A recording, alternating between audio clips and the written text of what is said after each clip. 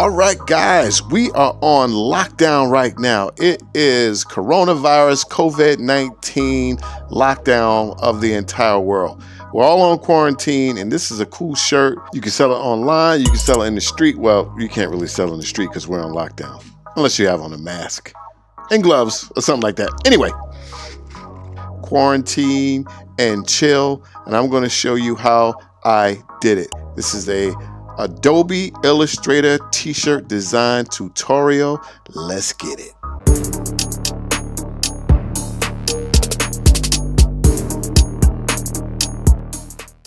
What's up guys, Gary Ejene and we are going to have some fun today. Okay, let's get into it. First things first. You see this right here? This is going to be our little muse right here. We're going to make something, as I showed you guys previously, and it's going to look a little something, something like this, okay? Now, from what I understand, this looks very much like something called Bebas, Bebas font, okay? Now, fonts are really important when it comes to t-shirt design. So let me take you to this site this site is going to be your best friend. Dafont.com. All right. I mean, so many fonts, it's amazing. But you go right here, you put in Bebas. Uh, it's a popular font. And looky, looky, looky. All right. You simply go in and you download that and you install it to your system. I already have it and we're going to go right here to our type tool, the T. All right, let's pull this down. See that T right there? Bam. We'll type it out. Quarantine. Let me see, did I spell that right? And, and guys, I'm dyslexic. I don't know if you guys knew that. I'm going to do a video on that. So I will jack the spelling of something up. All right, so what I'm going to do right now, I'm going to go and I'm going to check this spelling. Okay, quarantine. All right, so I spelled it correctly. That's the definition right there, quarantine. Okay, we'll go right here. We'll make this Bebas. And we're done. That's it. Have a good night. Just kidding, guys. So we're going to make this a little bit bigger. Quarantine. And chill. Isn't that special? All right. Okay, so what I'm going to do right now is I'm going to pull this off to the side because I might have to come back to that, okay? Because I'm going to be dest destructive right now. So I'm going to go right here and we're going to click expand. This comes up, okay. All right. I'm going to ungroup it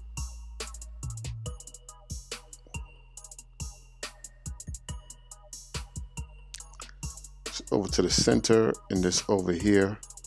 And we're done. No. So what I'm going to do right now is I'm going to take this and turn it. You see how this has this little arc in it? We, we're going to do that. But first thing I'm going to do is you can see this is kind of long. This is kind of elongated. So what I'm going to do is I'm going to just take this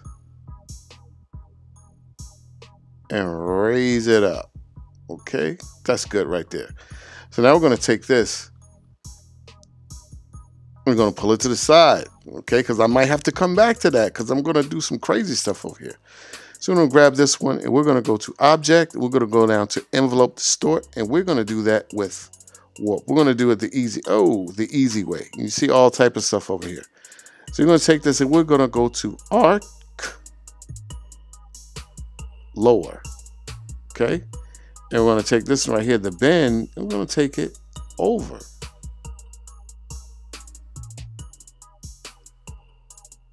Is that good? I think that might be good right there. We do want to go a little bit more. Oh, no, that's fine. All right, and we're done. Good night. No, I'm just kidding. All right, so now we're going to take that one because I may want to come back to that. So we're going to take that and we're going to put this aside. This is just how I work. You do however you want to do.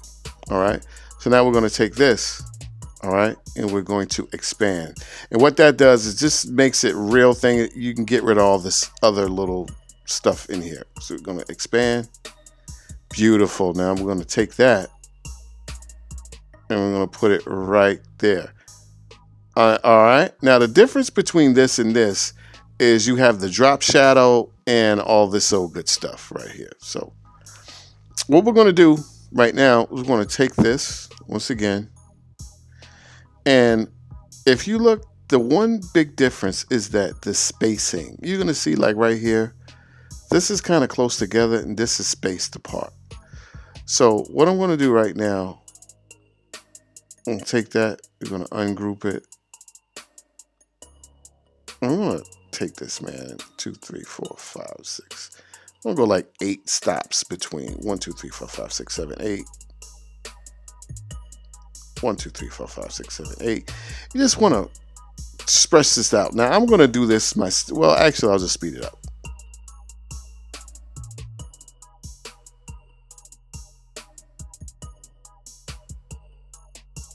Okay, we're just going to stop right here. And I'm going to tell you guys to go to tshirtdesignschool.com. All right. I want you to go down in the description box and I want you to sign up to get the t-shirt design starter pack to sign up and subscribe and you get so much great stuff. You're going to get some t-shirt templates all right? You're going to get classic artwork that you can use. You're going to get retro logos t-shirt graphics all right? You're going to get fonts that you can use okay to use all of this stuff.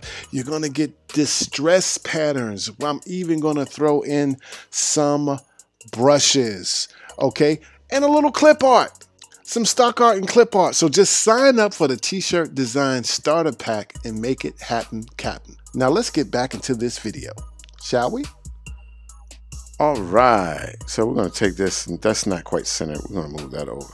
There are ways that you can mathematically center this stuff, but I like doing it by eye.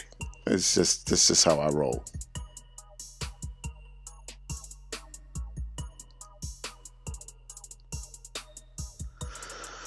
Okay, all right, we're going to raise this up some, just a little bit. All right, almost there, almost there. So now we're going to take this once again, we're going to make another copy. All right, we're going to take this. Where's our swatches at? Where's my swatches? Where's my swatches?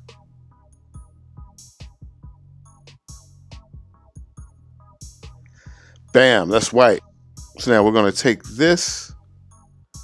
We're going to put this right underneath. And we're done. Look at that. No, not quite. The difference is a couple of things. Let's get in here we're going to add an outline or a stroke around this.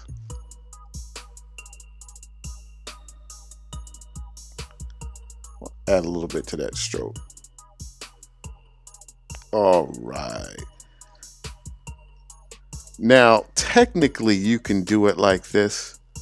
Okay, if we put a red background behind it, you could sell this until the average eye no one would know. This is like, this is it. This is off the chain right here. The difference is, guys, when you design, it's if you, especially if you're doing like mimicking something, it's the little things, all right. And if you could see, you see that right there. You see this, and you see that. That is like a that looks three dimensional, and that looks like a shadow. Meaning this looks like it's separate, and this looks like it's all one thing. So you're going to have to go in. All right. So let's go in.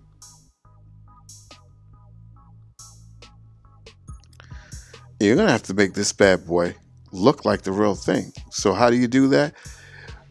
We're going to go right here and you can see right here, you're going to have to do a process of playing with these anchor points. Okay, so what we're going to do, and I'm only going to do this on one, and then I'm just going to do it because I don't want the video to be a long time, okay? So you go right here on the this back one right here. And you see you add an anchor. And you go right here and you add an anchor point, okay?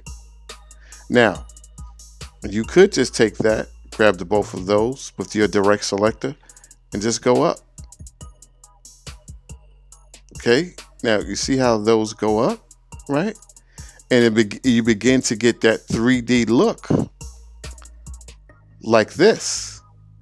But what's the problem right here? What's the problem right here? The problem is this is all wavy, you know?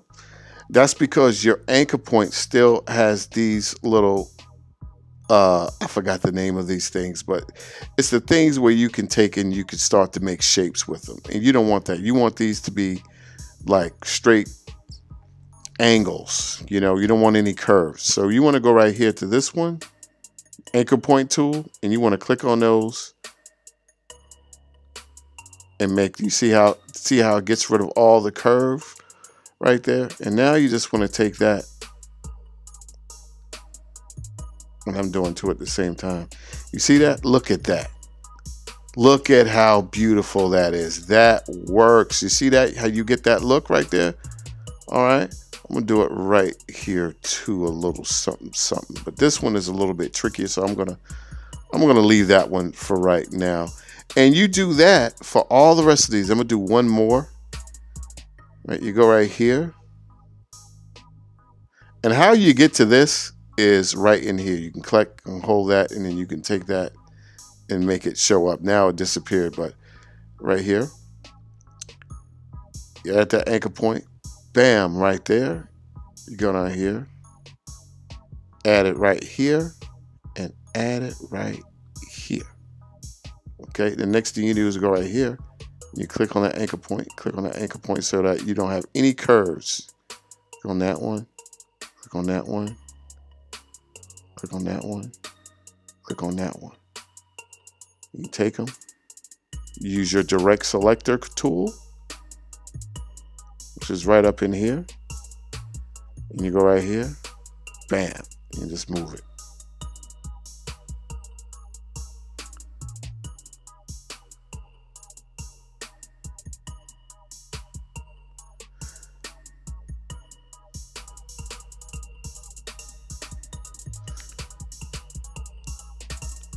Look at that. You see the difference between how these look and how those look. So I'm going to do that for all the rest of these. I don't want to bore you with the details. I'll show you how to do it. Let's go right in and let's make it happen.